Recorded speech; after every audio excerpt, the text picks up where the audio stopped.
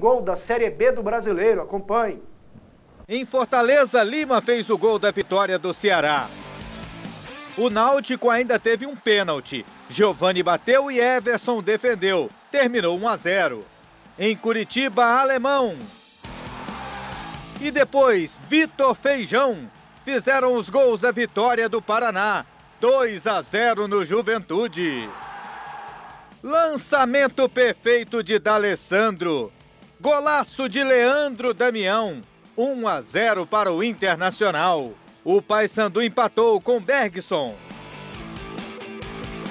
E ainda no primeiro tempo, outra jogada de D'Alessandro para Leandro Damião. 2 a 1 para o Colorado. O argentino cobrou esse escanteio na cabeça de Klaus. 3 a 1 para o Inter.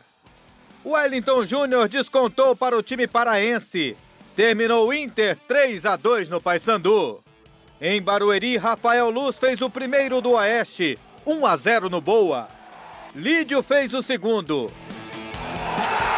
E Rafael Luz o terceiro. Tassiano descontou para o Boa Esporte.